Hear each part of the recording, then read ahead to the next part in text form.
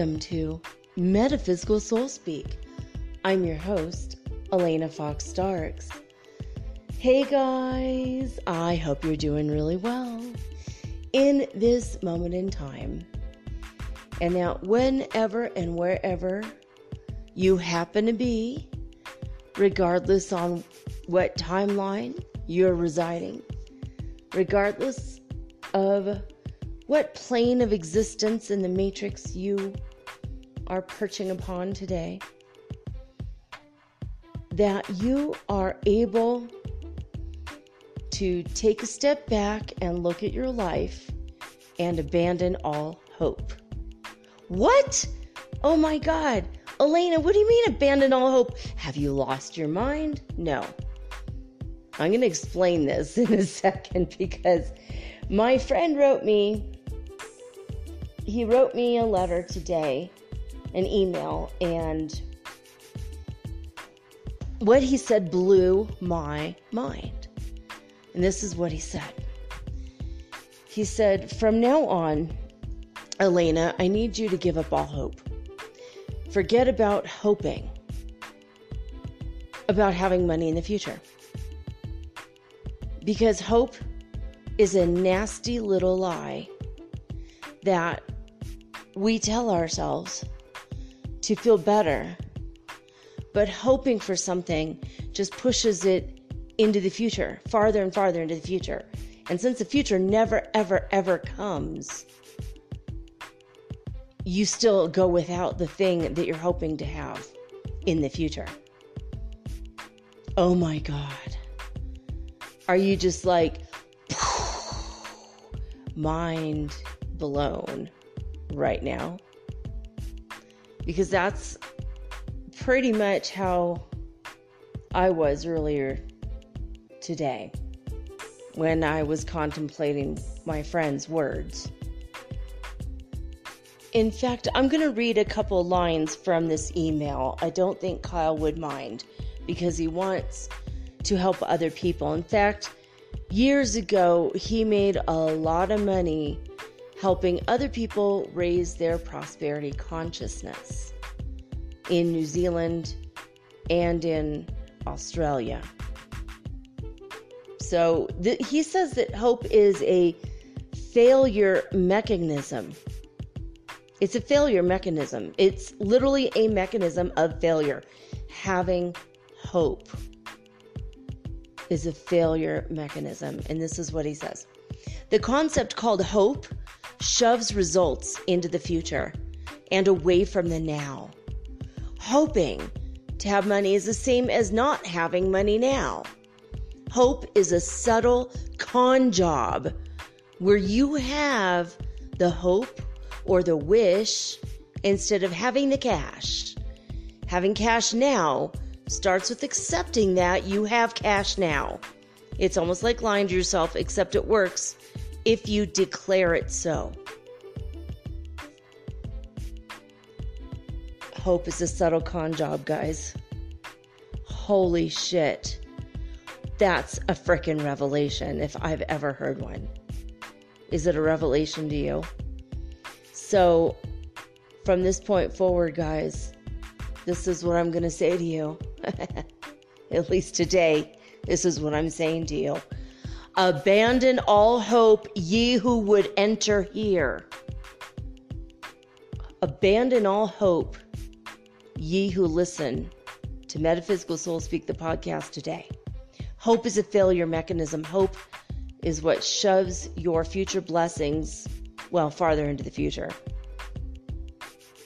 So I'm going to ask you right now stop hoping for money, stop hoping for the job, stop hoping for the acceptance to the university, stop hoping for the membership in the club, stop hoping for the perfect relationship, stop hoping for kids. Stop hoping, stop hoping, stop hoping. What are we going to replace the hope with, babe? We're going to replace it with uh, having. Declarative statements. I have the money. I have the kids. I have the apartment. I have the job. I have the love. I have everything I want. I've got the money. I've got the cash now. Boom, boom, boom. Cha-ching. Cha-ching for everything. I've got it now. I have it. I am a haver. I am not a hoper. Are you a hoper or a haver?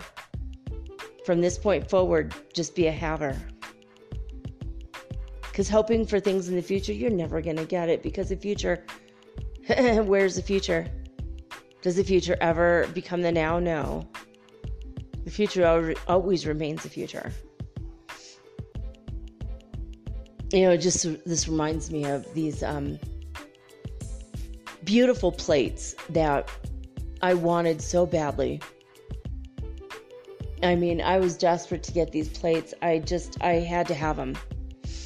And I told my husband, I really, really, really want these plates. There's something beautiful and special and magical about these plates. It was like, why? You know, what's so great about them, you know? I'm like, well, just look at them. He's like, yeah, they're, they're cute. They're pretty. And I'm like, don't you understand? These are like, I think they were like 1929 reproduction red hobnail glass. I'm like, now, okay, look, if we could go to the, the uh, antique store and go find a, you know, a 12 place setting like this is, let's go do it. But every time we went, we would find like one cup, one bowl, maybe a plate, and they would be like green and then white and then pink or gold, you know. But what I found was these were they were imported from China. They were discontinued. They had only so many left and it was now or never, we're never going to have these again unless we bet we buy them now. And my husband's like, "Why do you want these plates? We've got these gorgeous cobalt blue glass plates. This is what we eat on. This is always these have always been our plates." I go, "Those are our day-to-day plates. They're beautiful. They're blue glass. They're gorgeous." And on special occasions, I would put like a, a golden um, It was really a plastic plate spray painted gold. It was called a gold charger. Oh my god. if you guys have ever watched any kind of home decorating show, you know what the hell I'm talking about. I can't freaking believe I, I know what a gold charger is. But anyway, so I'd have the gold plate charger, then I'd have the I made I I literally sewed really beautiful um tablecloths that I had because I had kids, you know, and when things get spilled or messy, I just take the tablecloth off, throw it in the washing machine, put a new tablecloth up. Everything feels fresh and new. The kids loved it. I loved it. It made my life a lot easier. So, um, and it was fun, you know, to change out the look of the room. And it made it fresh and new for the kids, and it was fun and sweet. But I was just like, there's something about these plates and I always wanted to live in a house built in the 1920s. I've always loved the Victorian style homes. And I always wanted that, but I lived in a home built in the 1980s. And like, so this is kind of my, you know, I mean, sure, these plates were not made in the 1920s, they're not real antiques, but there's something magical about the hobnail I don't know. I just love antiques. And so I talked my husband into it, and that was my Christmas gift that year. He bought me the red hobnail, hand blown. Each piece completely hand blown, by the way. Red hobnail reproduction, 1929 plates. And you could hold the plates up to the light, and every single one of them was completely different. The coloration, everything was totally like some looked a little bit more orange, some looked a lot more deep wine red, but they were all, you know, uniformly. They weren't like one was orange, one was purple, you know, like they were all, they were all pretty cool, but they all had variations because every single plate was individually different and it was enough to serve 12 people with a goblet, like a wine glass, and a cup, like a coffee cup, with a little plate to go with a coffee cup, and the, the salad plate, and the dinner plate, and the dessert plate, and the plate. I mean, it was 200 pounds worth of hobnail reproduction glass. It was one of the most gorgeous sets of dishes I've ever had in my life. And we would pull them out on special occasions. And my husband's like, we paid over $100 for these plates. It was like $30 for shipping or something like that and like $100 for the for the glass. the glassware. And it was oh my god, it was a bitch to move. Oh my god. I mean, when I got a divorce, it was just like, I mean, I, I think I threw my back out. Lifting these, one box of these plates was literally 100 pounds. I didn't break one though, baby. I didn't. I, I loved those plates and I honored them, but I always had this, I hope someday, attitude towards these plates. I hope I can have a fabulous dinner party and invite enough people to fill all the plates. And I never did. Years later, I lost them when I lost all the stuff in storage when they couldn't wait to get into my stuff and steal everything I owned. And instead of contacting me when I missed a payment, they took everything, which was illegal. They needed to, by law, contact me six different ways and give me six months. And they had sold my stuff within three months and, and wrote me one email one time. And that was it. They stole everything I owned, including my beautiful uh, hobnail plates that just nobody can, like, you can't even order them anymore. They're gone. It was, it was a limited edition thing. They were only available one year and it's over. They're gone. I mean, not to say that I can't find hobnail somewhere else, but it's never going to be as beautiful as these plates. The hobnails, the, the hobnail is like, um, it's like these little bumps.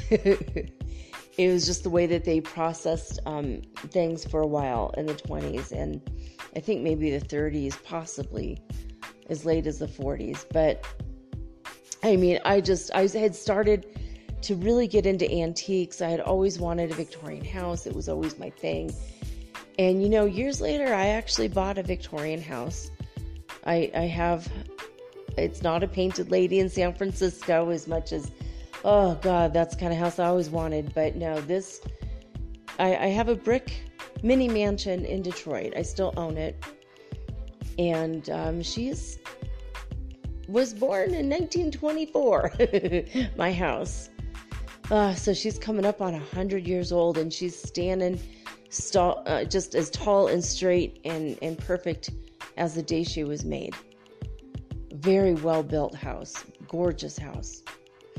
But, um, and I don't have my plates, I, which would so much, I would love to have had those plates in that house. But I always have these hope things. Like, I will hope that I have people over. I hope that I have enough people that would want to come over. I hope that I have family and or friends to come over and it, it just kept pushing it into the future. And I had hoped this with my husband and then we divorced and I'm like, well, psst, abandon all that hope because whatever. And it got to a point where I looked at my kids one day and I said, you know what? Today's the day we celebrate. And they're like, what are we going to celebrate? I'm like, we should celebrate that we have a place to live, that we're alive, and we're going to use the red dishes today. And they're like, but it's not Christmas. I'm like, that's okay. And we started using the dishes and we started using them every day. And we felt very special using these really special dishes. And they were very beautiful, very special dishes. And my kids loved it. And so now that's become a part of my memories. It's become a part of my children's memories. And even though we no longer have the beautiful red hobnail dishes, we have the memories of having had them. And maybe someday they'll, you know, recreate them and maybe I could get them again. And maybe I'll give them another color. Maybe in the future they'll be an emerald green. That would be awesome. Maybe I could get a set of hobnail dishes that's a different color for every guest. And maybe I'll only get four place settings instead, or six, or eight, maybe. But I'm not going to hope for it. I'm just going to say, you know what? If ever these kind of dishes come around again, I am a haver of them. And I have already been a haver of them. Because in the past I had them, I was a haver. I am a haver now. No one can take that experience away from me, even though they took the dishes away from me. I still have them in my mind, you know? So I'm going to tell you guys right now stop hoping to use those, be- those fancy dishes someday. Stop hoping for the fabulous dinner parties that will never come because they're in the future. Accept that it might just be you tonight. Eat on the good damn dishes. Eat on the good dishes. You know, just let your kids eat on the nice dishes. Trust them enough to eat on the nice dishes. If they break one, eh, at least they got to have a meal on it first. And just one less dish got to wash. My kids never broke one. Never. They were so good with these dishes. And I was always scared. Oh my God. But but I, I trusted them. And what's funny is I actually there was another set of dishes that I absolutely loved. That was also in that they were only like $25. It was just like a normal day to day type of set. It wasn't super special. It was only four place setting, you know, four cups, four bowls, four plates. And it was four different colors. And it was all my favorite colors. It was like uh, an ivory and a green and a um, kind of a rusty, orangey, like Halloweeny, rich kind of color, and um, is like in plum purple, green, rust, and and uh, this orange, and the green was um like a moss green, and the plum was very rich, almost like an eggplant, and I remember my husband saying, oh, those are ugly dishes. I don't like them. They don't even match. I'm like, but that's what the beauty of it is. You know, you can mix and match them and you you know, you could go through a whole week and never have the same place setting. You know, you could have like the orange cup with the you know, the white plate and then tomorrow you're to have the green plate with the with the purple cup. Like you know it's just it was it, and they all matched somehow.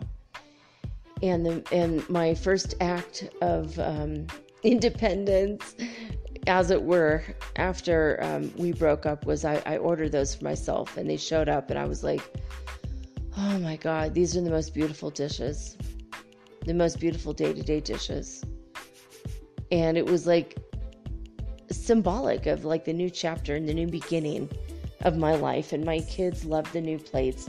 They were shaped really strangely. They weren't round or square. They were kind of in the middle of round and square.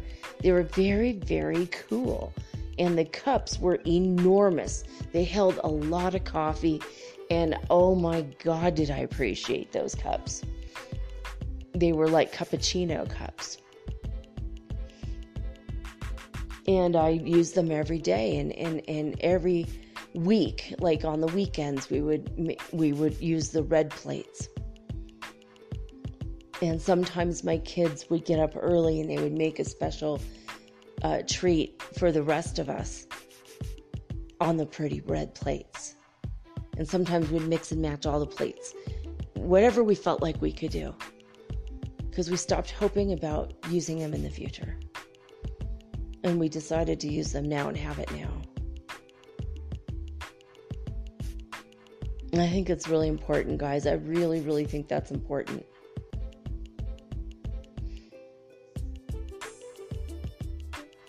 Abandon all hope, ye who enter here. Because it's a subtle con job. It is. It's a con job. Hope is a con job.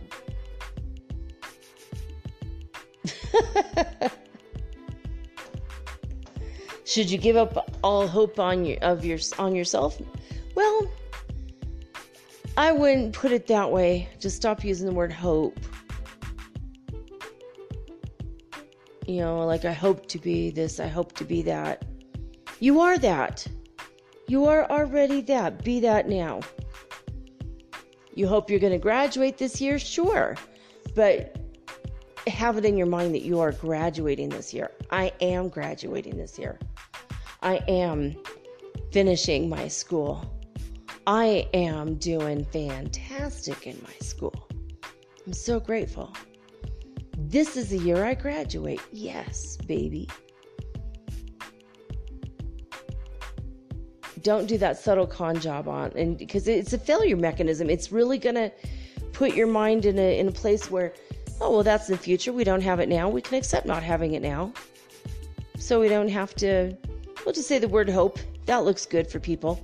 Sure, you know, people think, oh, well, she's hoping for that. Sure, all right. Have it now. Accept it now. Know it now and live it now.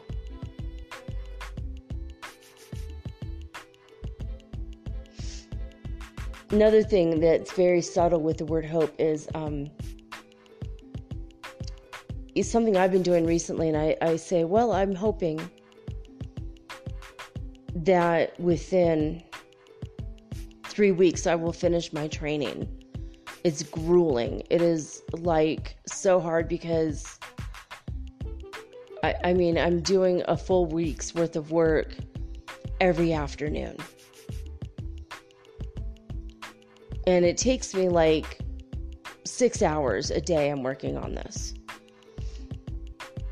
But it's intense. It's intense. It's like I'm, have to really concentrate and I have to put together lesson plans like I'm a teacher already. And I'm just like, it's burning me out mentally. I'm just like, ugh. But hope has creeped in. That subtle con artist bastard hope has creeped in when I say, uh, I'm hoping to finish in three weeks. And that kind of gives me a little bit of an out, doesn't it? It's a little bit of an out in it. I mean, three weeks from now, if I don't finish, then I could use that as an excuse. Well, I was hoping to have, but I didn't, so that's okay. It was just a hope anyway, right?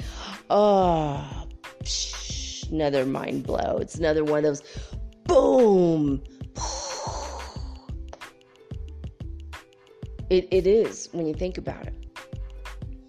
So I'm going to say right now, I know I'm going to finish it in three weeks. I know it's going to be hard and grueling, but I know in three weeks, it'll be okay because I will have already been used to working every afternoon, Monday through Friday, for six hours a day. So when I get a job working five hours a day in the afternoons, all right, well, it's not going to be that big of a deal, is it? It's gonna be the same as what I've been doing, but at least I'll be making more money. Or making money at all, you know, teaching. And God told me to do it. I'm like, all right, cool. I think I'll make enough money where I could support my kid and I for the next, you know, years, few years, while at the same time promoting my show and having my show and that's what I know I'm going to do. It's what my plan is. And nothing's derailing me. I'm here. I'm doing my plan. I'm doing it. So I'm not going to say I hope to finish in three weeks. I will finish in three weeks. I know I'm going to finish in three weeks. Because I'm not going to let myself down. I'm not going to let my son down. I can't lie to him. If I say I'm going to do something and then I don't do it, oh my God, I never hear the end of it. so I have to do it. and you have to do it too. No matter what it is, you have to do it. You have to be a haver, not a hoper. Stop hoping. Start having. Start having today. And that's pretty much all I got to say about that. But interesting concepts, right? I mean, my friend Kyle, he's he's pretty cool and I don't know. He's been wanting to come down to Ecuador. He was planning on coming in August, but now he's waiting for the coronavirus thing to stop, you know, trying to figure everything out. But he's lost two houses to the fires in California. He's done. He's done. He doesn't even live in a forest. He lives south of the forest. He lives outside of my town that burned down Paradise, you know, a couple years back now. In fact, the last time I saw Kyle was in the town of Paradise. We met at the Black Bear Diner. God rest that beautiful restaurant soul. Black Bear Diner is one of the coolest places. It's just one of the coolest places, period. If you've ever gone to Mount Shasta, California, I'm sure you've stopped there. It's, it's awesome. And if you haven't, I'm telling you right now, you've got to stop. You got to have the, the, um, they have like an onion thing. Oh my God. These onion rings and they've got garlic fries and onion rings and my my husband and I used to take the kids up there. We take a long drive over to Mount Shasta and and just go eat at the Black Bear Diner and drive around the mountains and just look at all the snow and walk around and try to breathe. It was like a challenge to breathe in the high elevation. You know, my kids loved it and then then we'd eat the Black Bear Diner and and they'd get sleepy and they'd sleep on the way home and we could my husband and I would listen to music and we would talk and we got to know each other a lot during our road trips. We were together 24 hours a day, 7 days a week for 13 years. Close to close to three, 13 years. When we were married out of that though like 11 and a half years. We were together a year before we got married which is always a good rule to do. but um, I don't know, there's something about those long road trips, and boy, the truths start to come out when it's just you in the open road and it's dark and there's no one else around. And you start talking in the middle of the night. And we just got so close during all of those road trips. And my God, there were a lot of road trips. A lot of road trips. We went to Arizona several times. We went to New Mexico several times. We went to, I want to say we went to Nevada, but Nevada was the way we got to everywhere else. So we never, Nevada was never a destination. But we took a lot of day trips. We went all over California.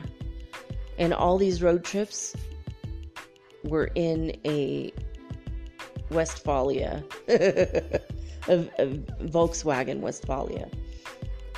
I mean, really incredible, really incredible times in our lives. And if you ever have a Westfalia or a VW, I highly recommend taking out the motor and putting in a Porsche 911 motor because it's really worth it. You don't want to be chugging up a small hill at 30 miles an hour. You want to roar up that sucker at 80 miles an hour. You want everybody else to look at their their gauges to to and see what's going on with their car cuz there's no way a VW is going to pass them on the open road against the wind uphill. oh my God, it was some of the funnest times we ever had.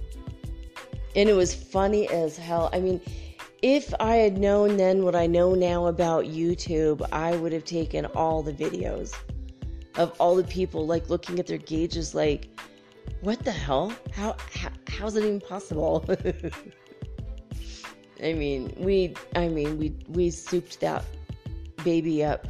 It was so incredible.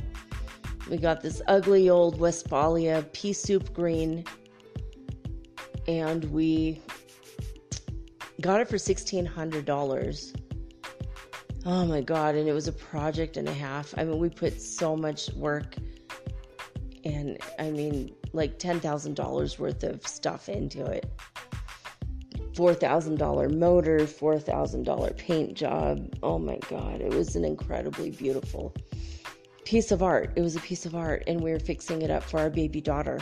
We bought it when I first got pregnant, and it was for her. And my uh, my in-laws, like bastards, went ahead and didn't even bother to mention it to me and sold it. And she she contacted them and said, you know, that was for me. So what I mean, that was like a ten thousand dollar vehicle. I'm sure they sold it for like a thousand bucks. They don't didn't know what they had. He even made a custom um, sh- shifting gear, and because uh, of the whole hippie peace love thing, he found a Jerry Bear and, and made a custom um, stick shift handle. It had a Jerry Bear in it and it had a light in it and it literally lit up at night. It was, so it was like a glowing blue ball with a Jerry Bear in it. I mean, like everything was freaking custom on this thing. It was incredibly, like the funny, weird little details. I made the curtains I, I made the beautiful turquoise and blue and white curtains. I mean, I don't know. I just, I, I look back on some of the things in my life and I, and I've been missing some things like that, like the sound of the bus as it was being warmed up, just the way it smelled, even though we put a bunch of new upholstery in it, it still had a weird old smell to it. It was a 19, let's see, it was air cooled, not water cooled. I want to say it was an 84 Westy. Westfalia. I don't know. If you're if you're a v, if you're a VW enthusiast, I mean, you know everything. It's like a secret club. You you the, when you first get a, a Westfalia or any kind of VW, even if you get a little bug, you know, but the the vans, the Vanagons, the Westfalias, all of the VWs, the minute you get one of these, it's almost like you've just joined a secret society of hippies, even if you're not a hippie yourself, because they're cool. I mean, they're like, they're, we bought it for camping and we loved camping. And there was this um, thing that started happening. Every time we came across anyone else ever that had a VW, they would throw up the peace sign like we're living in the 60s, man. It was so freaking crazy. I was like, whoa, we just joined a secret society that only other VW owners know about. They're not, they're not going to talk about it or tell you about it unless you join the club. and it's just the craziest thing. And, and VW people will, they'll like drive up right next to you and start talking to you about parts and, and hey, I found this new catalog and you could get aftermarket parts and and they make custom you know this and custom that because you can't get the parts anymore you have to have half the things machined you got to go find somebody that has all the equipment. They're willing to do it and they get excited about a new project. So i don't know. I've been thinking about those days lately and i've been thinking about just weird things too. Like my son said to me um about all the candy he's been missing. And we start talking about Pop Tarts of all weird things. They're not that good, but they're a part of my childhood. They're a part of my kids' childhood. Of course, Pop Tarts for my kids were like the health food ones. they weren't nearly as good as the, the really sugary ones. But I let them have the sugar, sugary ones once in a great while for special occasions like Christmas morning or whatever. And they, every now and again, we, we would talk about it. And my, my youngest is like, you know, I really miss Pop Tarts. I miss Uncle Mark's um, weird little trick of putting butter on the Pop Tarts. I'm like, yeah, I know. Oh my God. Oh my God. And that, it, it, my, my brother was just like, he ate so much when he was a kid, and he's like six foot four now. And I'm not related to him. I'm only five foot one. Just totally different genetic pool, right? But my my little, I call my little brother. He's freaking enormous. He's very very tall, very very wide. I mean, his shoulders are like freaking like eagle, like eagles that are huge, or like a condor. He's like a freaking condor. I don't know. He's huge.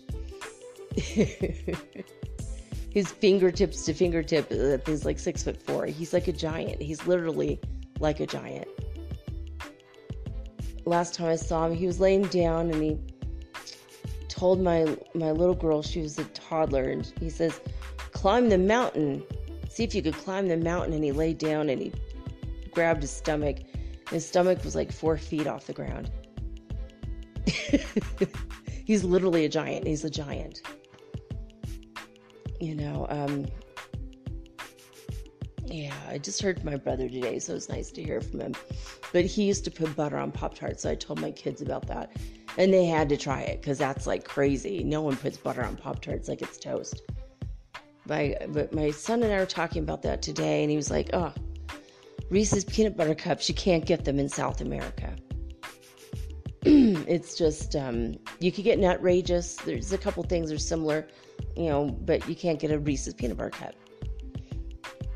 Red licorice. And we were talking about, oh, let's have an import, we want to have an import store a candy store because we want Pop Tarts again and we want candy again. I'm like, well, that would be really interesting. Maybe we should do an import store when the coronavirus thing is is um, no longer a threat, maybe we'll open up a little import store. We could have like a little reading room, and import store.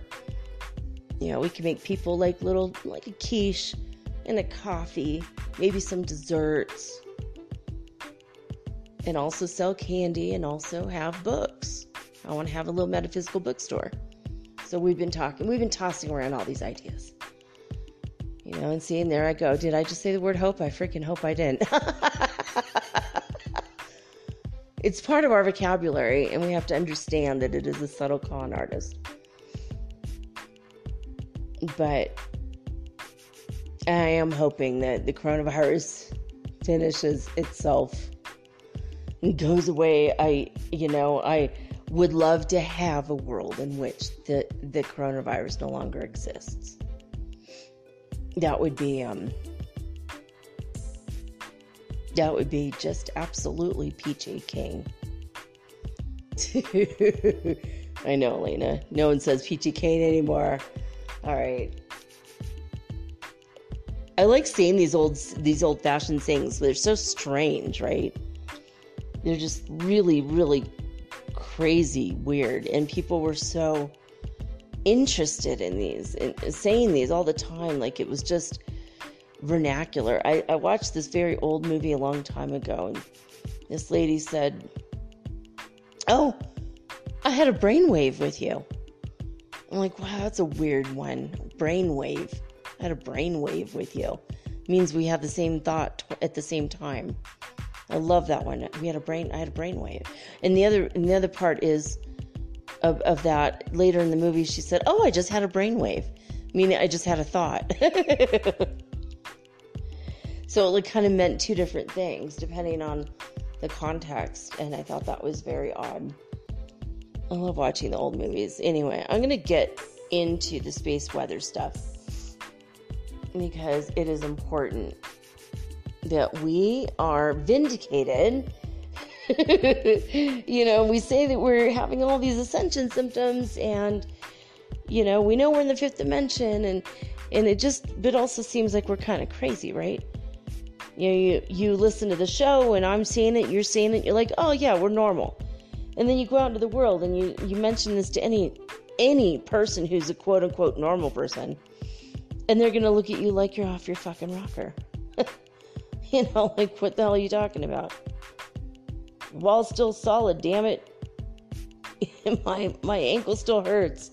No way we're in the fifth dimension. Yeah, we, yeah, we are. You know, so I like I like reading the science. You know, looking at the science, and then we can kind of realize that yeah, something is going on. It's not just us. We're not feeling weird and woozy and dizzy and all kinds of weird, like fearful anxiety energy for nothing. So when I tell you guys what's going on, you're like, oh yeah, well, there we go. We are armed with the science to back up our spiritual claims because science and spirituality are combined in metaphysics, right? All right, so solar wind speed today is 434.1 kilometer per second. Quite a bit slower than the past two days, but faster than it's been in weeks, honestly. We do have sunspot number 12 on the front, the, the north uh, west facing, well, facing Earth, part of the sun and that's pretty cool. So AR2770 is a member of Solar Cycle 25. Good to know, right? So we are now entering into a stream of debris from the giant comet Swift-Tuttle, which is the source of the annual Perseid meteor shower. Forecasters are expecting the shower to peak a week from now. Peak a week, so cute. and as this composite image shows on spaceweather.com, they say that a lot can happen between now and then. So, uh, a couple years ago, this man, Peter Hawryluk, saw 407 Perseid meteors in eight days. but he put together a picture of it, a composite picture. It took him a long time two years worth of work and 450 hours of post processing.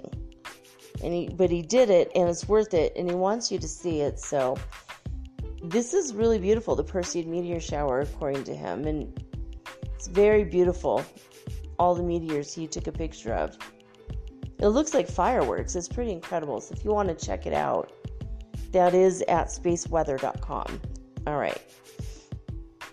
So, as far as the cosmic rays is concerned, uh, solar minimum is underway. The sun's magnetic field is weak, which allows the extra cosmic rays into our solar system and the neutron counts from the University of Oulu's Sodankylä Geophysical Observatory. It shows that the cosmic rays reaching Earth in 2020 are near a space age peak. Today, they are 9.6% of the space age average. That's high. There's been zero change in the past 48 hours. And that's good to know.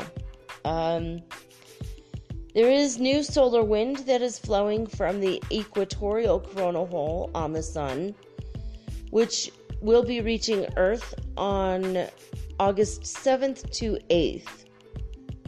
So expect to feel a little bit out of sorts. Or if you do feel out of sorts and it's the 7th or the 8th of August, you can go, oh, yeah, right, it's the solar wind, the solar radiation coming our way.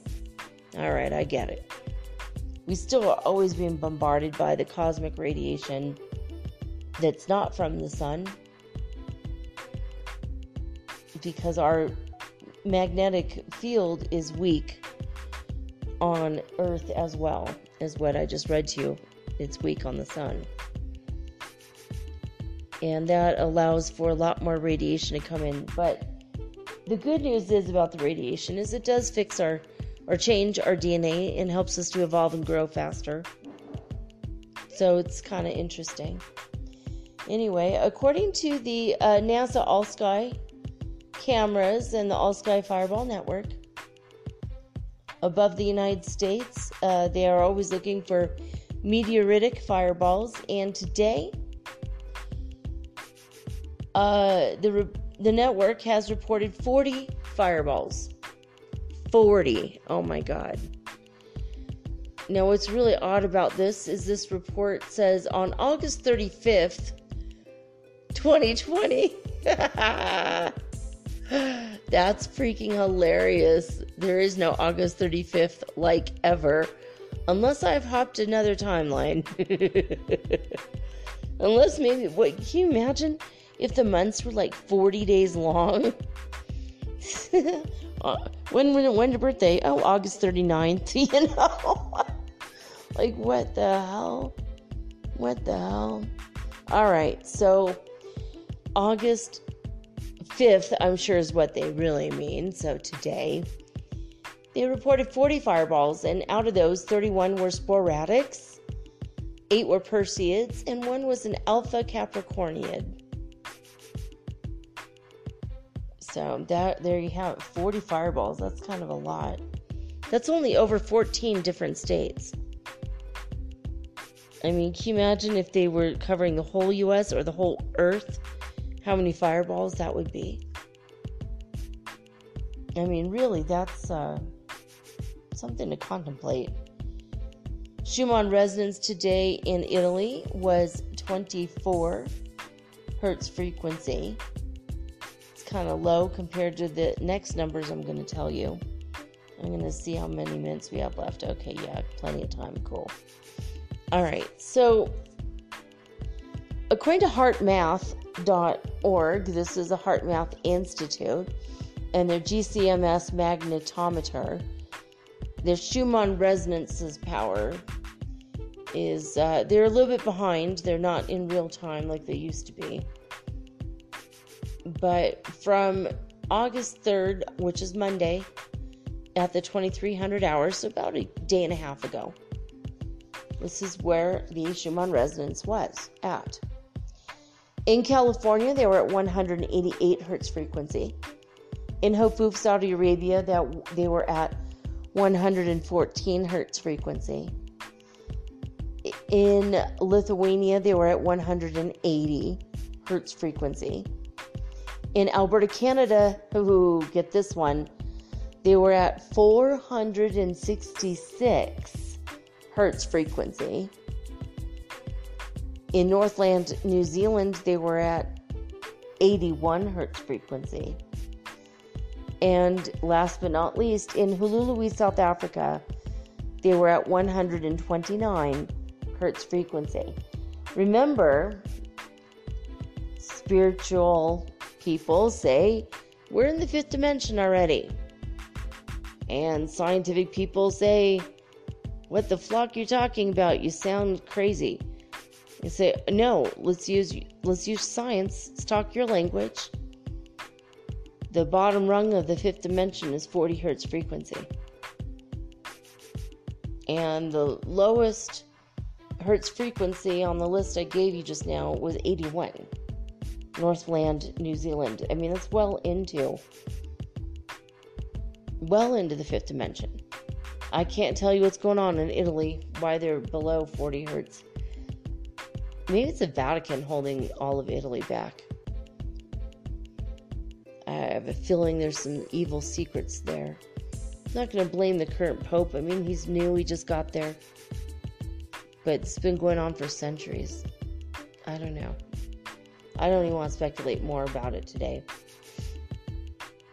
But I always wonder why Italy is so low um, on the energy vibration of the Schumann resonance, though. It's it's just so. And people like if it gets up to seventy, people are like, "Ooh, ah, oh," and I'm like, "Well, that's actually lower than the lowest number in HeartMath.org." So, but when you say you feel it, you're probably not feeling the little 70 spike over in Italy. You're probably feeling the 400 spike in Alberta, Canada. More likely. Even the 188 spike in California, you know what I mean? So, but there's science backing it up. I mean, backing up the claims that we've all been making, and thank God, thank God. And, and you could tell, like, the, the colors of the sky, it's just been freaking psychedelic as hell lately. With the noctilucent clouds, with the upper atmosphere, with Steve showing up. You know, you gotta look that up S T E V E. It's a sky phenomenon where there's like suddenly like a, a, green picket fence in the sky and purple pillars coming from from the earth. I mean, it just seems like this should be fifth dimensional stuff, right? You know, and they're like, oh yeah, this is a brand new phenomenon discovered a couple of years ago. Yeah, you mean when we entered the fifth dimension? okay. All right. You know, spiritual people everywhere are like, um, yeah, we've been talking about the rainbows in the sky for a long time. And the, the, the latest noctilucent cloud is not blue but red. so the sky is looking like freaking purple. Yeah. Hello, fifth dimension. fifth dimension much? Anyway. All right, acim.org is the foundation for inner peace. This is where you will find for absolutely free the lessons and insights that are contained in A Course in Miracles. We've been reading this for quite some time. In fact, today is lesson 349. So here we go. Today I let Christ's vision look upon all things for me and judge them not, but give each one a miracle of love instead. Today I let Christ's vision look upon all things for me and judge them not, but give each one a miracle of love instead. So would I liberate all things I see and give to them the freedom that I seek. For thus do I obey the law of love and give what I would find and make my own. It will be given me because I have chosen it as the gift I want to give. Father, your gifts are mine. Each one that I accept gives me a miracle to give. And giving as I would receive, I learn your healing miracles belong to me. Our Father knows our needs. He gives us grace to meet them all. And so we trust in Him to send us miracles to bless the world and heal our minds as we return to Him. Today, I let Christ's vision look upon all things for me and judge them not, but give each one a miracle of love instead. All right, well, there you have it. That's it for the introduction, guys. I'm going to take a quick break. And when I come back, I'm going to do a tarot card reading for all of us, for the collective whole. I'm going to do a basic Celtic cross spread and just kind of get us get a little kind of feeling for what's going on and where are we at right now. Right after these messages. So stay tuned for your reading.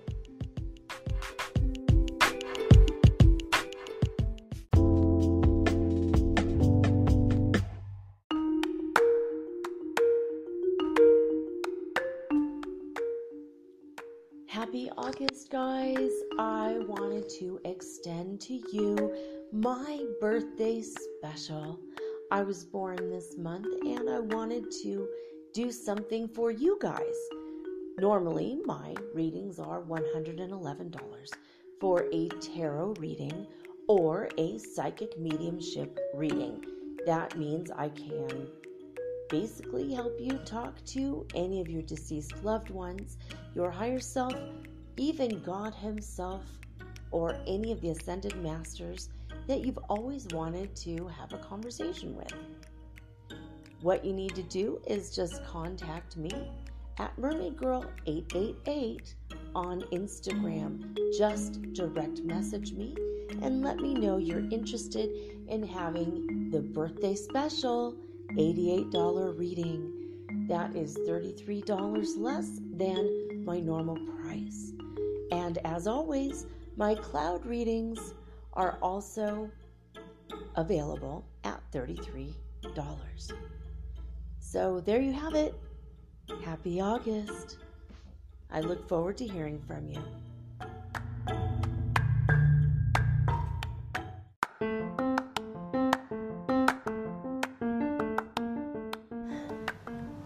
If you haven't heard about Anchor, it's high time you did. It is the absolute easiest way to make a podcast. First of all, it's absolutely free. Second of all, they have creation tools that allow you to record and edit your podcast right from your phone or your computer. You guys have known that I've been doing this for eight months using the anchor.fm app right on my cell phone, and I have done it everywhere, right? I have recorded this in my living room, my bedroom, little cafes in Quito, Ecuador, all over Cuenca. It's so absolutely easy to make your podcast, and editing is just a snap. Anchor also will distribute your podcast for you. And it took me about two and a half months to become syndicated. And now I'm available on Spotify, Apple Podcast, and many more, and so can you. You can make money from your podcast also, and there's no minimum requirement. You get paid from your very first listener. It is everything that you need to make a podcast all in one place.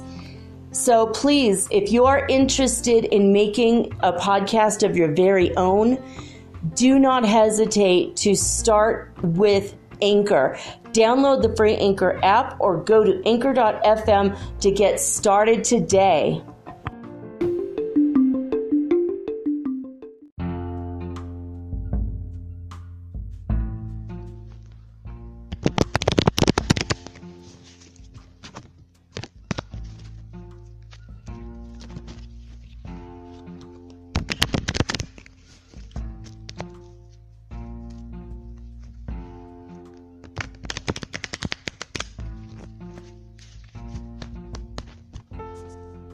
Okay.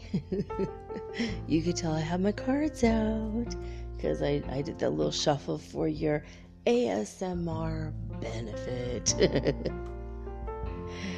now, um, there's a lot of readers on the internet, a lot of people out there doing collective readings or readings for the collective whole or readings for the spiritual collective or readings for humanity etc., etc. Um, I don't interpret the cards the way that other people do necessarily. I'm going to give you guys uh, tonight some information from a website that I found that has pretty decent, quick explanations about the cards. So I'll give you like that as well as what's uh, being told to me by God Himself, because I have channeled, been channeling God throughout this show for a year and a half. Um, I've been connected with the Creator for years, and through this connection of just constantly tr- trying to hear and working on my intuition, I've been able to be completely connected and now I'm in complete communication with God. So, a lot of these uh, cards are, you know, the way I interpret them, is literally the way that God interprets them right now in this moment. So sometimes they're not totally like what the card means. Um, a couple notes from a couple of the readers that I've had weird words with in the past couple weeks. One of them said something about a um, a card or two. I don't. I can't remember what the situation was, but I do remember that she said, "Hey, uh, these cards mean this. These. Are this is what you know. I pulled out of the deck." And I said, Well, I could see that the cards themselves mean that, but in this situation, with what's going on in the world with humanity, this is how I would interpret this card as kind of an overall uh, view of what's happening with, you know, the collective whole versus the unawakened ones, you know, the ascension as well as what the card says you know, um, I, I have a different interpretation for this card in this moment with what's going on in the world, basically. And she was like, I don't know what kind of tarot card reader you are. It sounds like you're just a channeler. and it sounds like you don't really know what the cards mean. And I don't know. I'm here to tell you guys this is the thing. When it comes to reading tarot cards, it depends on the situation, the person, the energy. You know, like, usually, for example, the justice card means uh, that uh, there's a lawsuit or a legal matter pending or something getting ready to be very legal very quickly you know, or it could go that way. It might be a warning card, or it might be, this is what you're going through. Hey, are you going through a lawsuit right now? Usually the person say yes. But I'm telling you guys, I used to read tarot cards um, professionally for money um, 30 years ago on a hotline. I made like 12 bucks an hour to literally read tarot cards for people. And I was good. And I, I did this for like a year. I had an amazing, I loved this job. And I'm telling you what, guys, two or three times within one week, the justice card did not mean legal issues or a legal pressing matter. It meant the person was going into the police academy. That's justice. It was weird. And sometimes justice card means karma. It just depends on the person and the situation. But I remember pulling this card and I was like, Are you considering a career in law enforcement? Yes, I applied to the academy today, as a matter of fact. And then the next time I got that card, I was like, You're going to be a cop, aren't you? And, and the guy was like, Yeah, how did you know that? That's weird. I'm like, Yeah, there's not a single card in the whole of tarot that says you're going to be a cop. But I got this card a few days ago. And I got a very strong impression about it. And I just got that same impression now.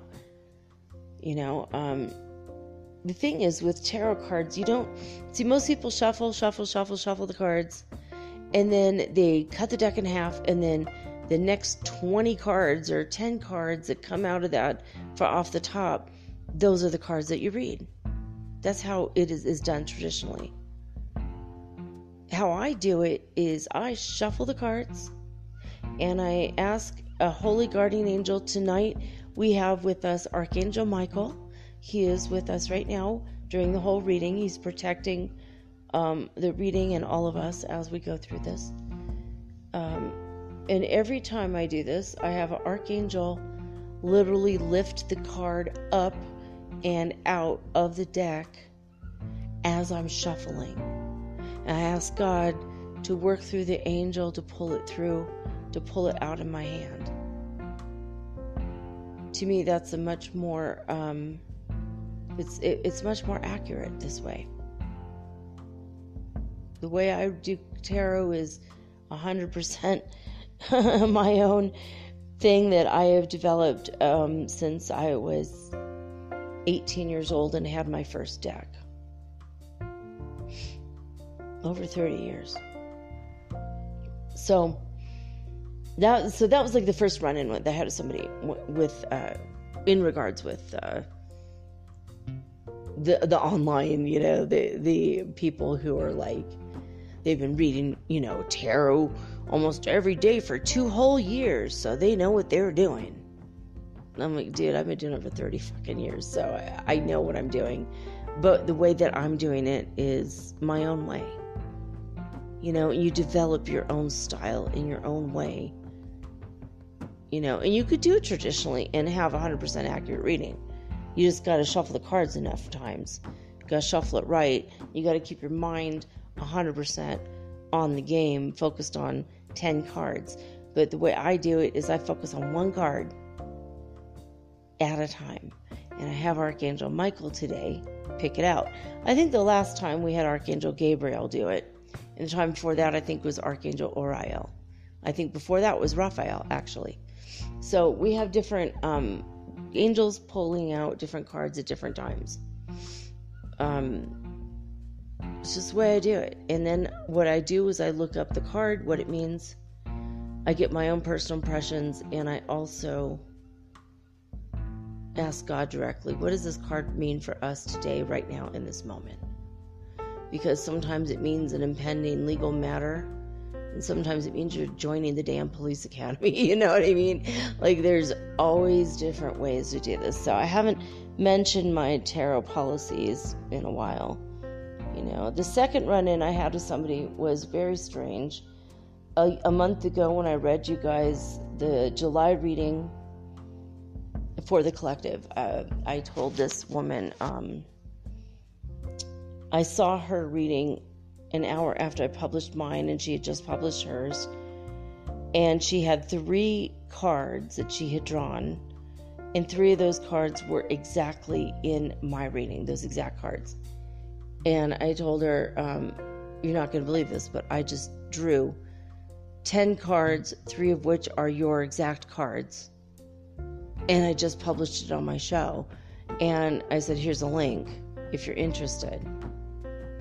And I love it when you get confirmations. Isn't this great?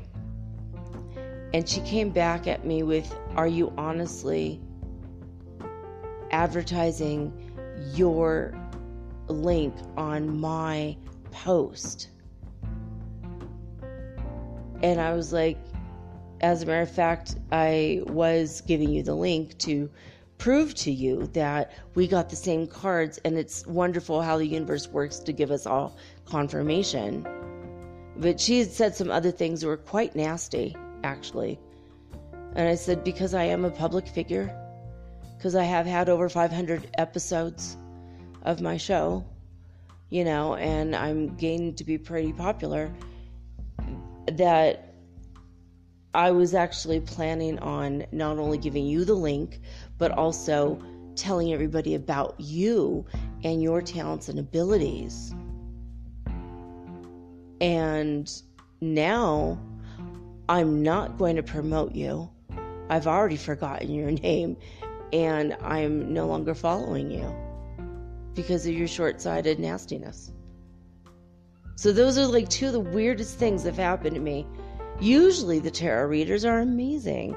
They're like, oh my god, I can't believe you got the same cards as me. Holy man. Well, that's good. That means that we're both on the right track. Right? you know, I mean, like a typical human being would.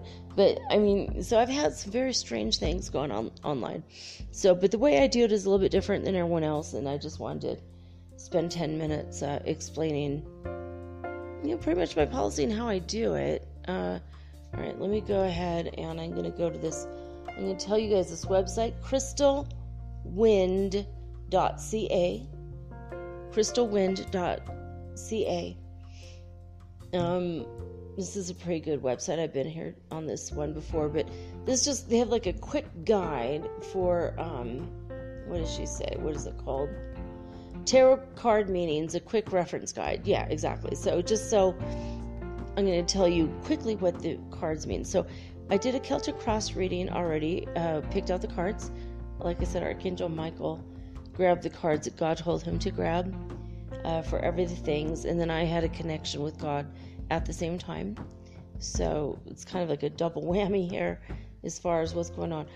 Who, where we are right now, as a as a spiritual collective, this is those of us who are awake spiritually right now, and aware of the of the ascension and blah blah blah. Right. So okay, where we are at right now, I got the King of Swords.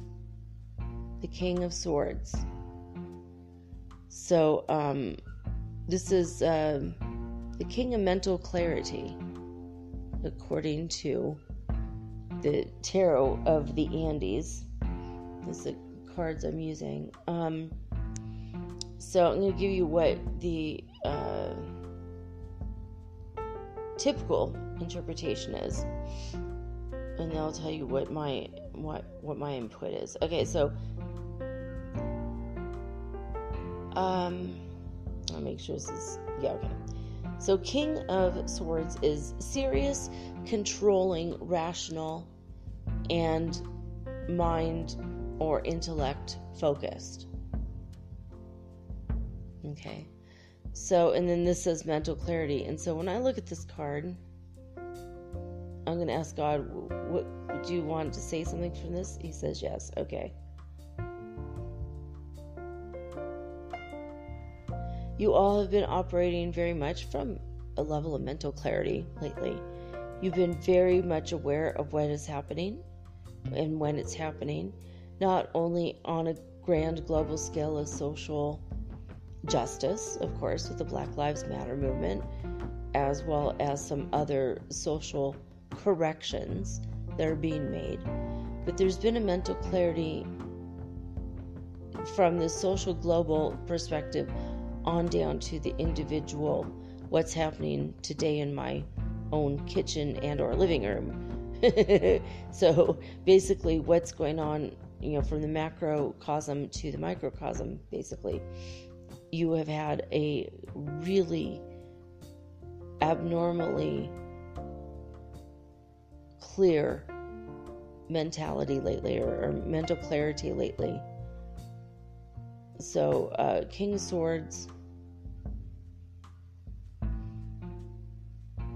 And for me, my personal interpretation is that we have been operating through our intellect and we've been walking through the world with that clearness of mind. We're seeing everything clearly.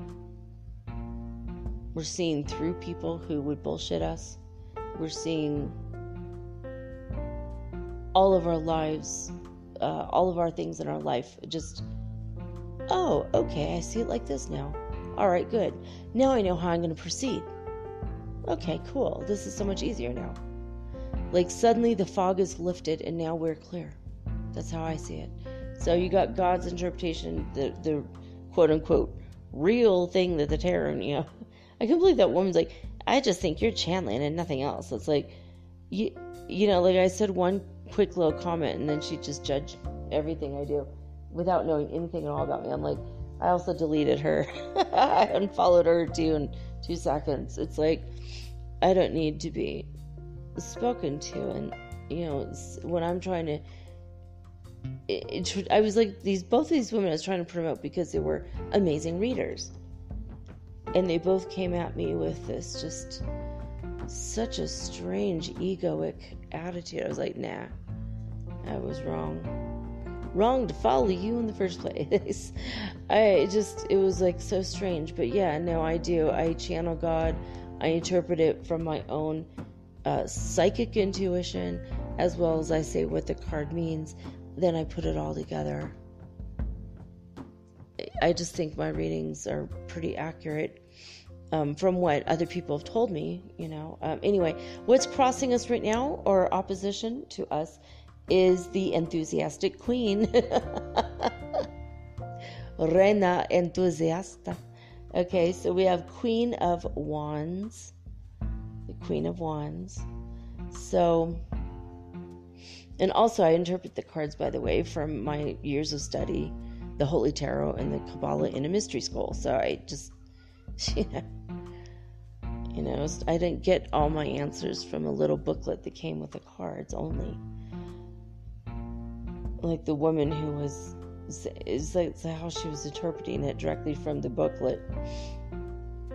Queen of Wands. All right. So, this is something that opposes us and crosses us, but it kind of gets in our way. We're trying to have mental clarity, and at the same time, we get enthusiastic about our clarity. And so, we're like, oh my gosh, oh my gosh, oh my gosh. And then we start muddying the waters again with probably the ever elusive hope monster. okay, so uh, we're going to look up Queen of Wands in the what it actually supposedly is, right? Okay. So, Queen of Wands is confident, focused, and has a zest for life. But the reversed, and none of these are reversed, I never use reversals, but the reverse meaning of it is fatigue. And that does kind of go along with my interpretation of this card right now, because even though we've had mental clarity and we're like, yes, finally, I'm starting to see the light, right?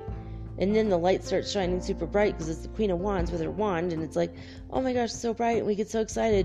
We're hopping up and down, and now we've lost our ability to focus, and now we are fatiguing ourselves out because we're so excited about having that mental clarity because it's been so freaking long, hasn't it? That we finally are able to see.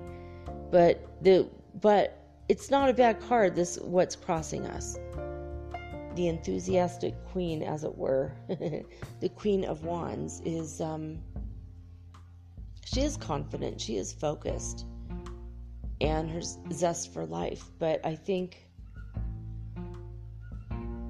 it's possible we are over interpreting our lives and over extending our psychic reach into what's happening, what's happening, what's happening. You know, like oh, always trying to figure it out, figure it out you know, drawing all the cards every day, using a pendulum, you know, always, you know, trying to figure it out. I think we, we're gotten to the point where maybe exhausting ourselves a little bit with it. So, God, is there anything you want to add to that? He says, No, I think you did a good job. Thank you, God. All right. He's like, That's pretty much what's happening. So, there we go. Now, what is our foundation of this situation? Awesome. okay, awesome isn't a card. Temperance is an awesome card, though. Temperance is the card that we got at the uh, foundation of it all right now. So, Temperance is a wonderful card because it's an angel with one foot in the water, one foot on the shore. That it's like kind of an equal balance between the solidity, the structure, and the subconscious mind. You know, um, it's kind of walking that exact path between good and evil. You know, or, you know, anything, any middle path. It's definitely a middle path card. Our foundation is that we have achieved balance. We have achieved balance. We're not relying on, on our subconscious minds. We're not operating out of knee jerk reactions and our memories any longer. We are not operating only from a material world standpoint. We are operating from a higher clarity and focus and guidance. And we're interpreting things correctly now. And so we have been able to be tempered, not angry, like having a temper, but we have tempered our life. We're like, yeah, dude, we foundly, we finally found, we foundly the foundation of peace and balance and harmony. So, God, is there anything else you want to say with this card? He says, yes, it's the foundation of harmony that completes you and completes your circuits, as it were. Instead of reaching and reaching, reaching for something you haven't gotten yet, or just grasping onto what you have and never trying or being ambitious for anything in the future. You have achieved a balance and a harmony of you love what you have, you know where you're going, you know what you want in all areas of your life. And this mental clarity that's coming down and the enthusiasm that's coming down, even if it's making you feel a little bit tired, you are actually standing on a very solid foundation. You're not being too materialistic, you are being exactly the right amount of ambition for your purpose and, and goals. You're not being too wallowing around your subconscious patterns anymore. You are able to see what they are and understand them and love them and know that if they don't serve you, you don't need to pay attention to them anymore, basically. So that's pretty much God's interpretation. Now, the cards, the the meaning on crystal wind of temperance is looking it up. Okay, balance, moderation, being sensible, and of course, reversed is impatience. See, you see how my interpretation is so much richer, and then God's is even more richer. That's why I give you guys so much so much to go on. That's why my readings have become very popular. All right, here we go. Now, what is our most recent past? What have we just finished letting go of? All right, let me check where we're at here. Yeah, all right, good. I thought we were at 23. I wanted to make certain. All right, so what have we just let go of? And that card is the Page of Swords. Usually, a page is a messenger, and of course, swords could mean a decision. It could be something that cuts you, you know, the the double-edged sword, like you know. It could bring you a harsh truth, or it could, you know, just cut you down, or it could mean just a decision, you know, something mental. So the page of swords. And there is an 11 on this card, like a Gemini symbol. So it might have something to do with in the most recent past.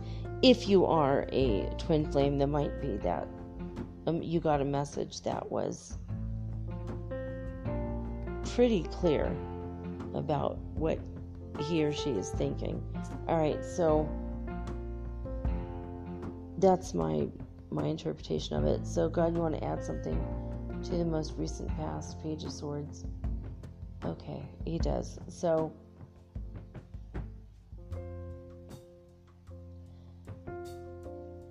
what you have left behind is rumors of of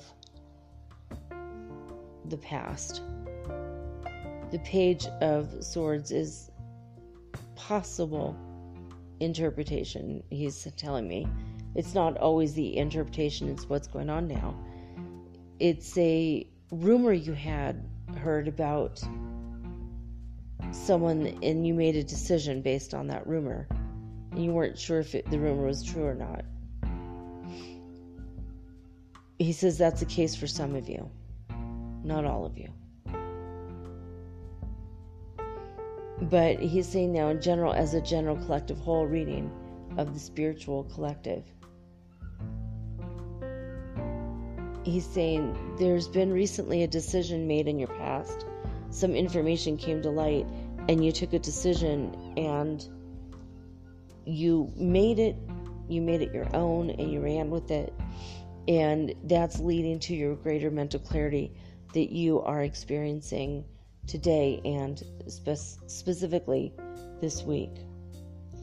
So, all right, let me see what Page of Swords says in the website.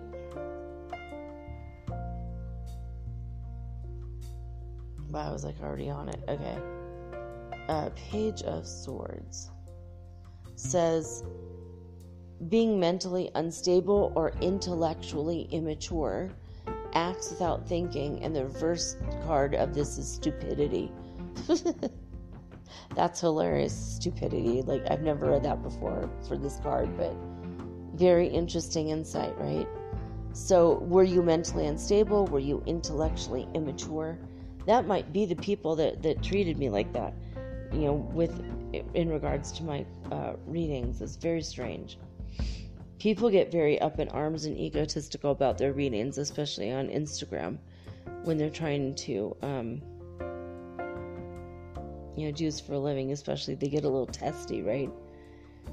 You know, and I've been giving you guys these readings monthly for over a year, you know, just because I, I want to just get a clear mental picture of not only where I am, but where all we, all of us are, where we all are in relationship to um, this ascension and whatnot. So it's possible that, you know, and, and that's funny that I interpret that is as rumors when it could just be being intellectually immature or mentally unstable, which would lead to, you know, rumor, gossip, mill, you know, type of thing.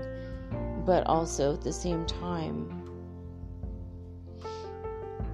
maybe it is being intellectually immature. I mean, like the person, like, are you honestly leaving me a link? Like, that was like so crazy, right? Like, why?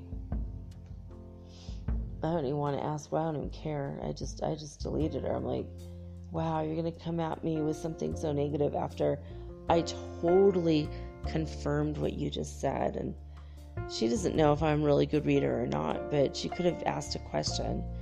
Oh yeah, I've been reading for two years. How long you been doing it? And I'd be like, 32 years. So I don't know. It's not really pissing contest, but if it was, I'm pissing farther and faster than you. I'm just saying, you know, hey. you know, I'm doing this on multiple levels. I, I do my my readings are multidimensional over here. So, all right, look. Um, the next card is what is above us. What is a message from our collector, collector, collective higher self, which would basically be um, God, right? So this card says one word in Spanish on the bottom abundancia. Basically, abundance. What are we to accept into our lives right now but the Three of Cups? And right on there is a picture of, or a little tiny symbol of Mercury so, talking about love, abundance. Three is the Holy Trinity. So, it's a very good card. I mean, I'm looking at this just you're filled with all kinds of love. Your your cup overfloweth with love and abundance as well. So, all right. What does it say in the interpretation here of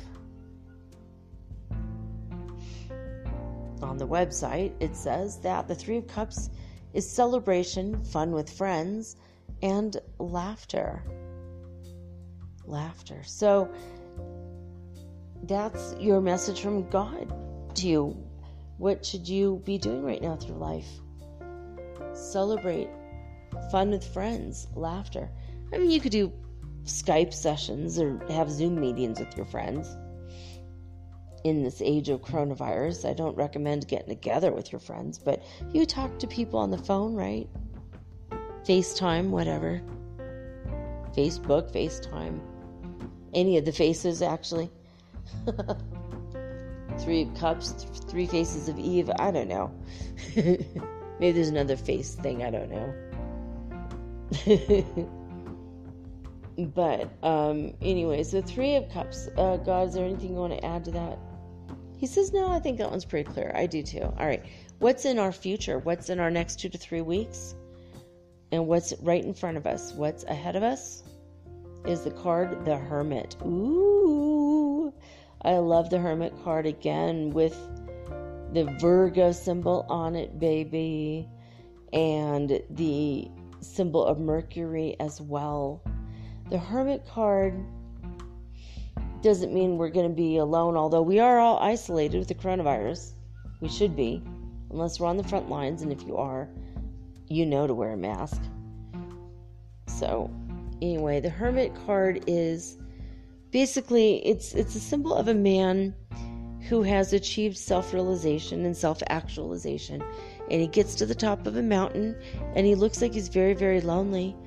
But in reality world he's holding up a lamp and this is the light for the world to follow. And he's waiting patiently for everyone else to catch up to him because he has arrived spiritually baby he's got that lamp and he's shining it for all the world to see. He's letting his little light shine as it were. So the hermit card is a good card because it means that you've achieved a next the next level of spiritual stuff basically. Spiritual rung or spiritual.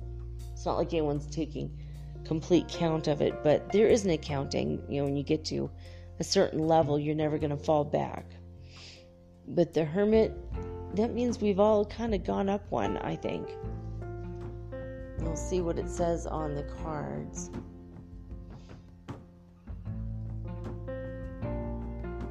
I've, I've heard people interpret this card as you're homeless or you're going to be. it's total BS. it makes me laugh so hard though when people interpret it that way. It's like, no, I don't think so. All right, the Hermit, uh, according to Crystal Links, means meditations, solitude, consciousness. And in reverse, it means isolation, which is what we're all experiencing now with the global pandemic on and whatnot. so, God, you want to interpret this in a different way? Do you want to add anything to it? He says, no. He says, just, um, he said, mention the rainbow. On this particular set of cards, he is surrounded by a rainbow energy of light that starts below his feet in the earth and goes all the way up Kundalini style, up the channels of Kundalini to his the top of his actually the top of his neck, not really the top of his head. But it's very interesting artwork for sure.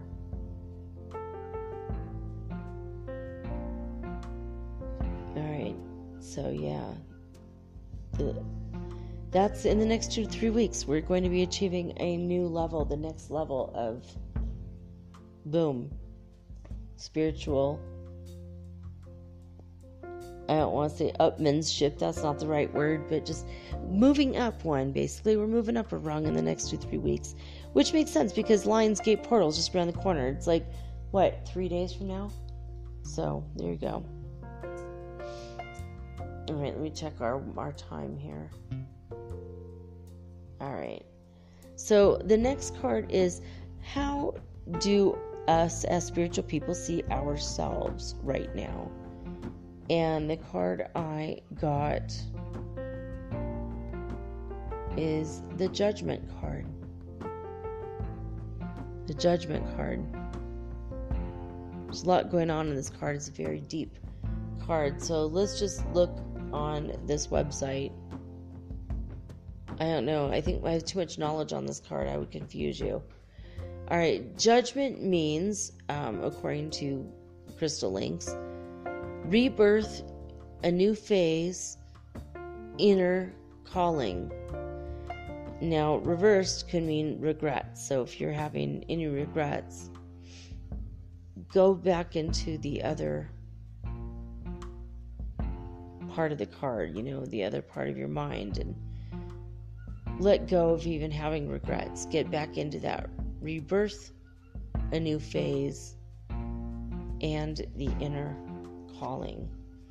So that's what that says. Uh, what do I say? Judge, judgment.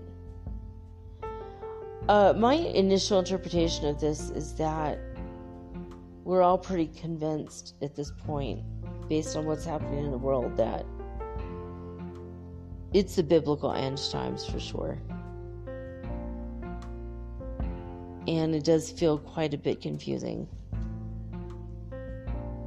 energetically while we're working towards ascension that the end of the world would be happening. It seems counterintuitive. Like, God, we did all this work, now the world is ending, what the hell? But I think it's just the the third dimension, it's like breaking away and breaking up as a form of spiritual rocket booster to lift us up deeper and deeper and higher into the fifth dimension. Anyway, God, do you want to add anything to the judgment card here? No. Okay, the answer is no. All right, how do the people that are sleeping, how do they view us right now? Because we've had mixed feelings on this in the past. So, the card I drew was, well, not me, sorry. The card that God told Archangel Michael to pull out of my hand, because I didn't it myself, I just allowed it to be pulled out by the angel. Uh, anyway, this how how did they see us? This is pretty much um, the Two of Cups. So they see us as loving, they see us as attractive, but they don't really know why, I think. There's something about us, they just can't put a finger on it, but we're, you know, able to uh, go that extra mile and love the extra amount. And we're all um, working on ourselves in such a way that will help us not only extend love to ourselves, but we're extending love to every man woman and child on the planet. If you're not doing that, it's a good goal. Trust me on this. You have to stand on a solid base of love in order to open up all of your chakras, all 12 of your chakras. So, I, I mean, I look at this card and I think Two of Cups is wonderful. It does stand for twin flames, but in this part of the reading, the way that other people look at us. They see us as loving, joy filled, amazing. Like they want to be near us, they don't know why. They want to be with us, they can't explain it. It's because of the love that we're radiating, though. You know, you have two goblets in your hands filled with the, you know, their cups of love, and you fill them up. And that's the way they're looking at us. We're attractive and they don't totally know why. It's weird. Alright, so let's see. Looking up the suit of cups, what does it say in the in the book, as it were? It's technically online, but um so we already have three cups now. This is a two cups which means partnership, mutual attraction, compatibility, but in reverse can mean abandonment. So I don't ever interpret the reversals, but in case you do, and it feels right for you in the moment. But how are people viewing you? Well, you would make a good partner. You're you're pretty attractive, and uh, the un, the unawakened ones are like, I wonder if uh, we're compatible you know, while you're like working on yourself, you know, even though we all have this mental clarity now, thank God.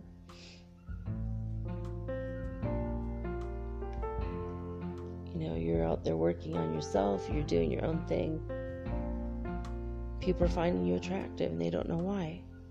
I think it's the magnetism that we're all creating with our meditation and our constant focus on the spirituality thing that we are it's almost like we're attracting love to our lives whether it's not what we're looking for or it is. That's how the outside world is viewing us right now. There's something about us that they can't figure it out but we uh, we've got it made somehow they think. And in a lot of ways we are. We're all very loving people. You know we're we're very much um, we do make good partners. We're consciously aware we have mental clarity now. We've left our spiritual immaturity behind. And we're willing to accept abundance into our lives. So, obviously, it's a good card to be there. So, uh, God, you want to add anything to that? He says no. All right. So, in the next, the next card is the hopes and fears card. Hopes and or fears. so, we're going to change that to the haves and or fears, the things you wish to have. Uh, this card is. Oh, I just got a wild energy just pummeling my body right now. I think it's some kind of cosmic radiation going on. All right, so in the next three months, and or the hopes and fears, which haves and fears, we call it. This card is the Knight of Cups. So the Knight of Cups. I think in the next three months, we're going to attract more love into our lives. I think that's how I would interpret this one. And the next uh, person who comes into our lives in three months. I don't know, I just feel like it's going to be like good, solid love. We've done our work and we're ready for it, right?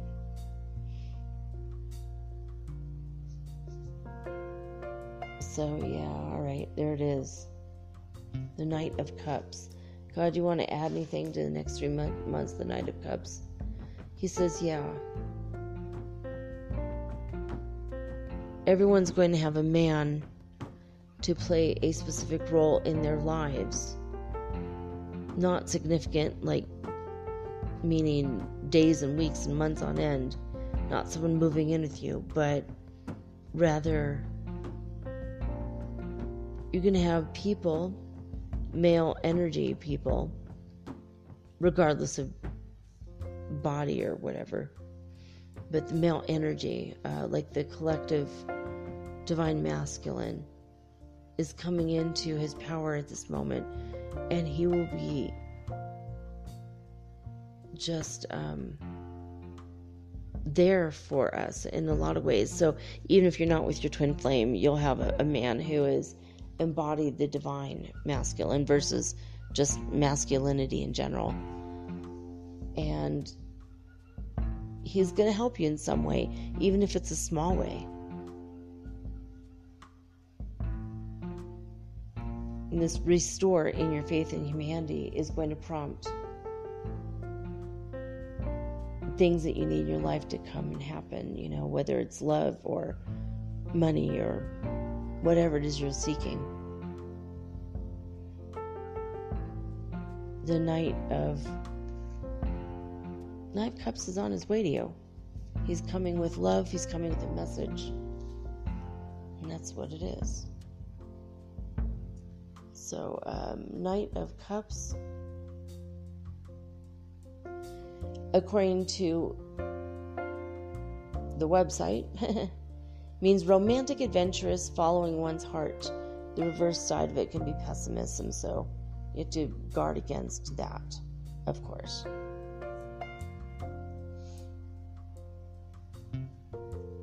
So, yeah, I like that too.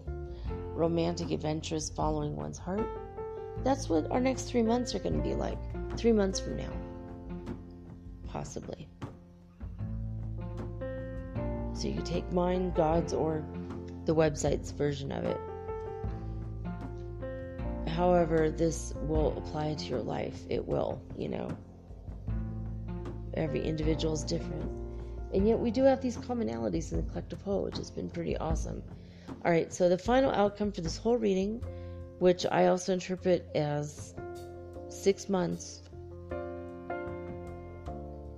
six months from now, and what we got here, put my glasses back on. Writing is impossibly small to read on these cards. We got the Empress. That's such a cool card.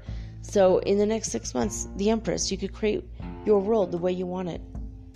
You are the author of your own life book. You are the painter. And the world is your gallery. You create whatever you want. And that's in six months. So you're going to feel like you have a complete and total handle of your divine feminine energy, whether you're in a male or female body or your gender is um, incongruent with what your body's doing. That's not what I'm talking about. I'm not talking about gender stuff here. I'm talking about embo- embodying and embracing the divine feminine in the form of the Empress. So, six months from now, I, I don't know, I see that as a very good sign.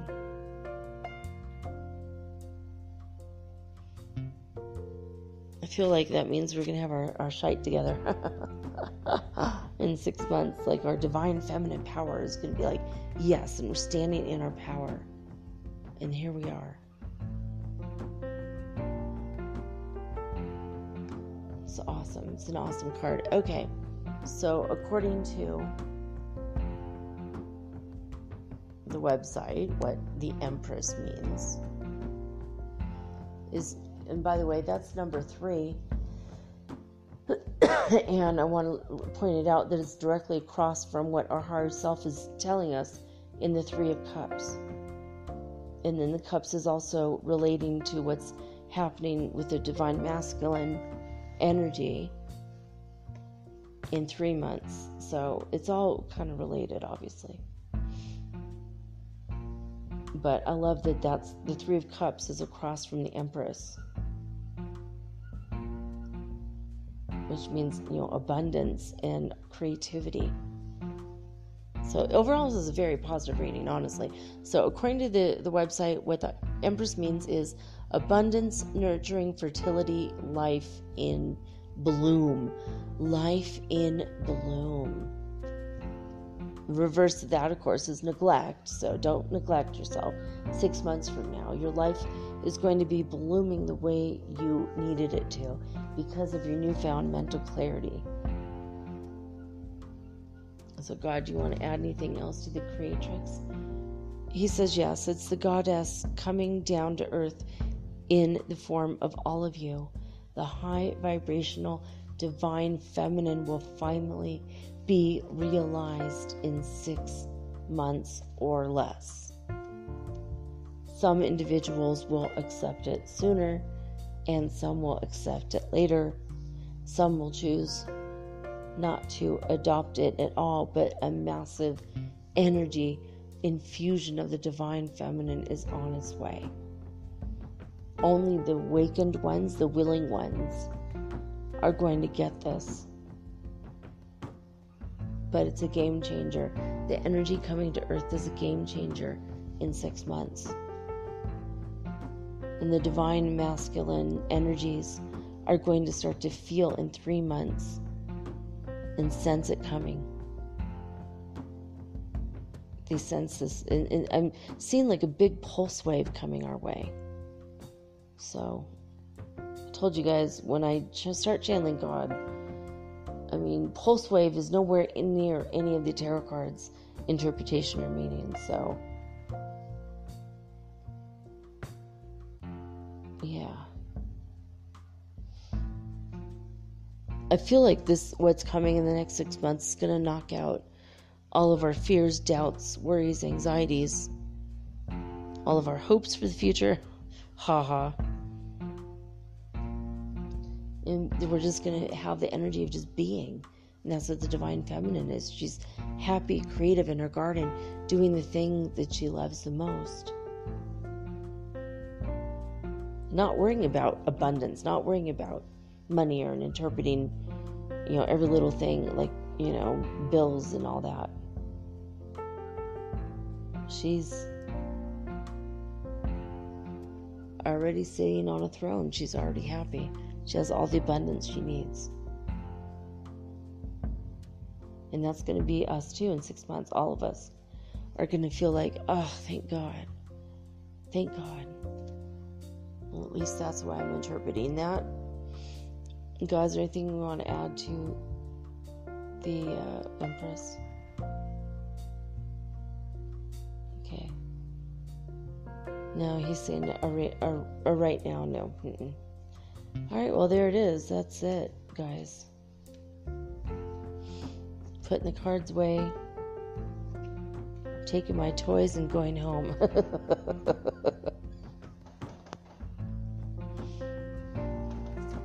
so it just felt like there's a lot of nods to the divine masculine and the divine feminine as far as coming into our own personal power.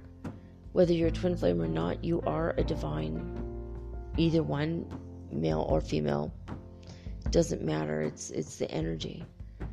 You could have a female body and embrace and embody the divine masculine and vice versa.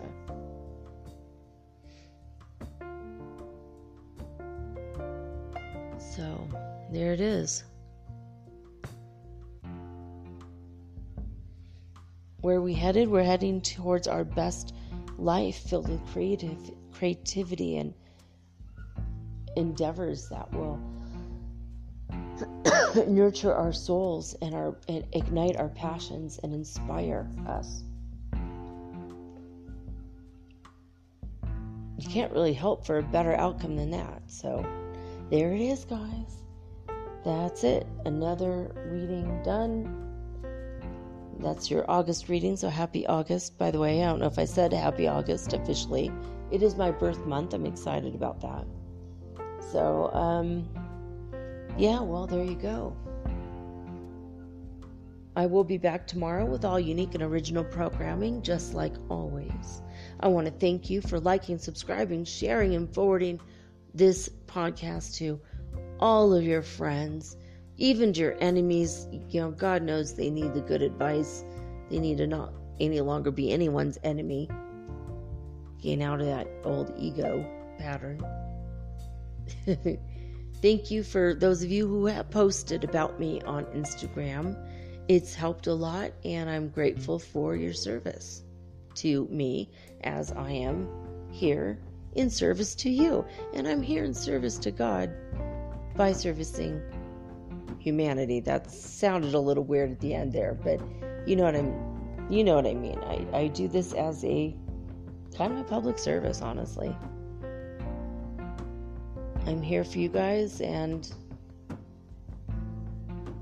here it is.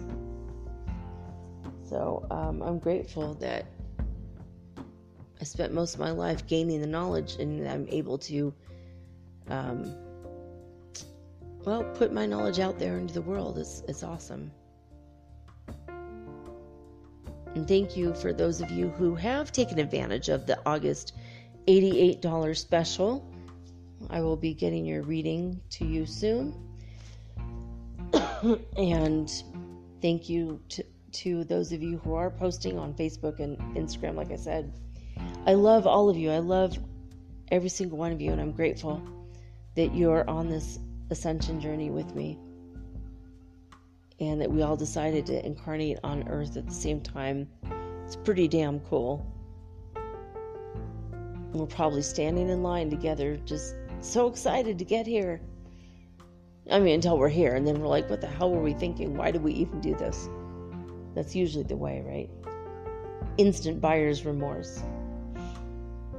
But, um, yeah, so thank you guys. Thank you all for everything. Um, yeah, I guess that's it for now. I can't tell you what the show's going to be about tomorrow because I'm not really sure myself. Might be fairy tales. Might be fairy tales. We'll see. Anyway, that's it for now for me. That's all she wrote. I am out of here. I'm tired. Very tired. I'm being bombarded by some kind of radiation cosmic gamma rays, plasma. I don't know what the hell's going on, but I feel it and it's like an instant like tiredness. So I'm going to get this out there, produce the show, publish it. And that's it. I'm signing off, you guys, with peace and joy and high vibes of the Holy Fifth Dimension. Until next time, guys, peace.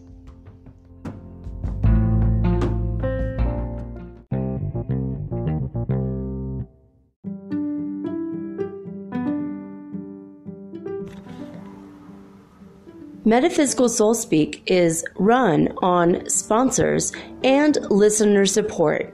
This means listeners like you. If you are so inclined to support my efforts and my little podcast, please visit me at anchor.fm forward slash metaphysical and pledge an amount of your choosing today. Thank you.